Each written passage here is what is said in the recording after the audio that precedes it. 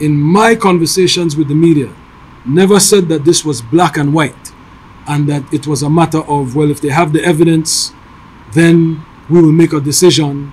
If they don't, well, uh, as some may have speculated that this was a kangaroo court and, you know, we were just going through the motions because there, there's no uh, sufficient legal or technical evidence. There is a, a, a mountain of circumstantial uh, evidence uh, of allegations of significant corruption.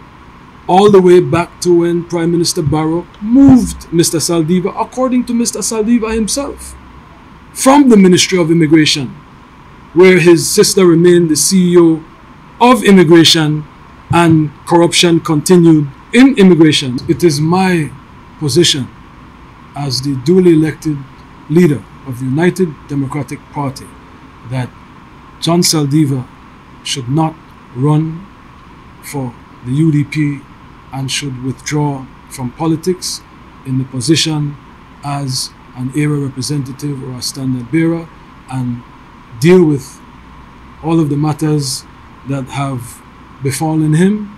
And I think a retirement from politics at this time is the wise decision. Allow for the new breed, the new era to go forward.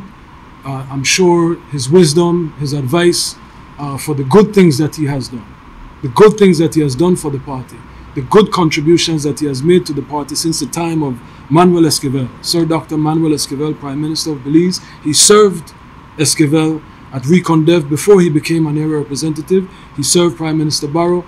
I am grateful to Mr. Saldivar for all of his contributions to the party, but it is my firm belief that the decision made by the special committee signals the end of his political career as an area representative or any official of the party.